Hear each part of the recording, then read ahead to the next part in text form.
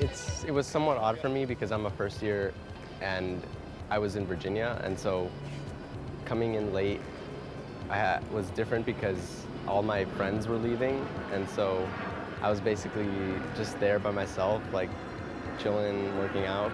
Well, I like summer and being able to do whatever I want and not have to worry about working on schoolwork.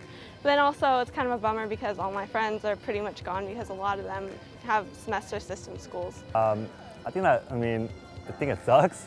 I think it's gonna be hard to get used to because uh, we had a month, you know, last year and then, uh, you know, now we don't, so it's gonna be cut short, but get used to it, you know? So I have mixed feelings. Like I like summer, because who doesn't, but I don't like not having people to spend it with.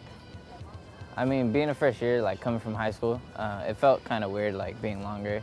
I like it because I took summer school, and usually, um, like right after summer school, like school would start. But now that we have like two and a half weeks, it's more of a break, so I think it's pretty cool.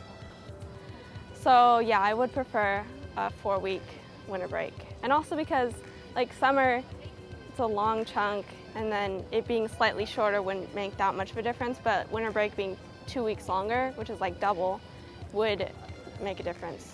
I feel like.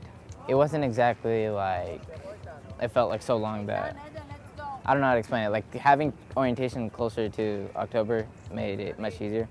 So I mean, it wasn't uh, bad in a sense. It was actually kind of nice.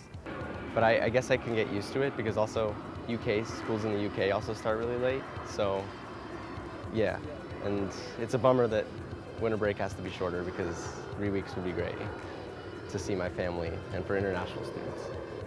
I feel like I would rather have four weeks than two weeks because then I get to go and visit the high school and like just be around other people and seeing my semester system friends.